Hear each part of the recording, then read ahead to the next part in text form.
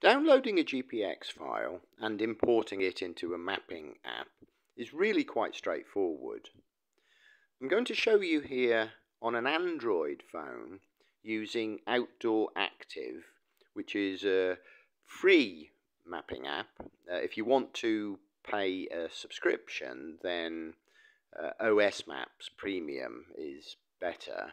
Uh, the procedure, at least for the first part, is the same. So, starting from this page, where you can see that I've included to a, a link which says this folder. So if we click on that, it takes us to this folder which contains icons for different walks around Bristol. So I'm going to use here the, the second one on the left, Bristol to Nailsea and Backwell, which is the walk that I describe in the article for Somerset Life. Now, once you've already done this and it's already set up on your phone, you can click on any of those icons and it will automatically open the mapping app and import the file, uh, short circuiting uh, the next part which I'm going to show you. But in this case, I'm assuming that you're doing it for the first time and also that you want to decide where you want to save the file that you're going to download. So to do that, instead of clicking on the icon, um, see the three small dots underneath the name of the file. So click on that and it opens this menu.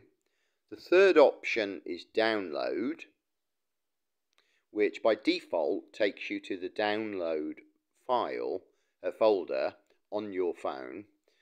In the top right hand corner you see save, click on that. And then go to the Files app on the top left hand side on your from the usually on the home page of your phone. And there you can see the file Bristol to Nailsea and Backwell.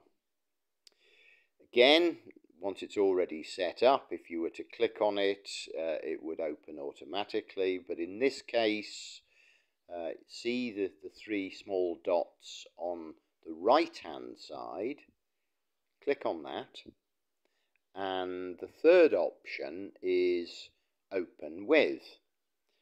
Now here you can see that uh, I have already installed both Outdooractive and OS Maps on my phone. So here we're going to use Outdooractive, click on it, and the GPX track starts to import into the app. Now, uh, by default, you'll see the name there is a kind of a long one saying tracking on and giving the date. So I'm, I'm assuming here that you will want to give it a, a more recognizable name. So Bristol to Nailsea and Backwell, save.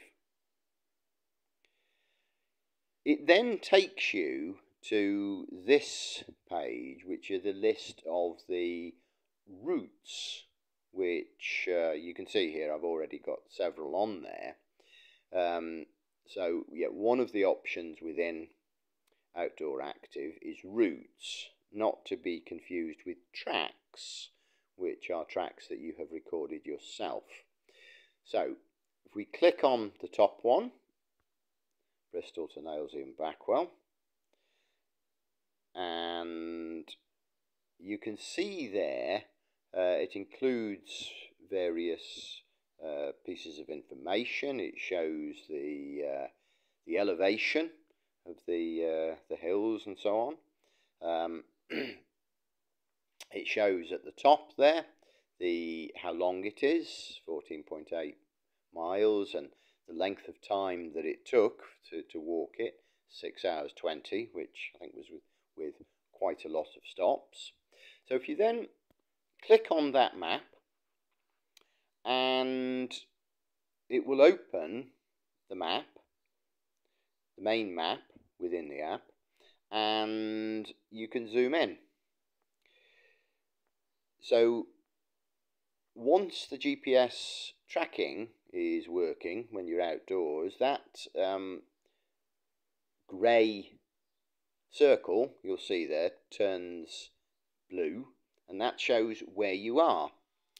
And as you start walking, if you walk along the route in red, uh, you can see yourself following the route or you can see where you've gone off it.